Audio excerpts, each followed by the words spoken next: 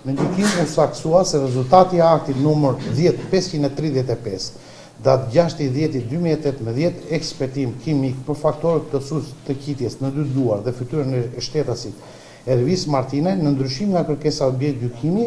Ishte një gabim material dhe rezultati ishte që në duart dhe fytyrën e shtetasit Ervis Martinaj nuk u evidentua mbetje të nitriteve,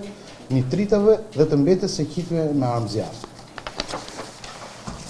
Kjo gjykatë konstaton se në datë katër i dhjeti dy mijë e tetëmbëdhjetë, me akt sekuestrimi të oficerit të policisë gjyqësore, personit nën hetim Ervis Martinaj, në spitalin e Traumës i është gjendur me vete një send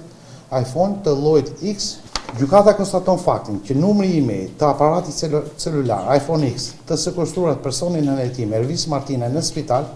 sipas kërkesës objekt gjykimi dhe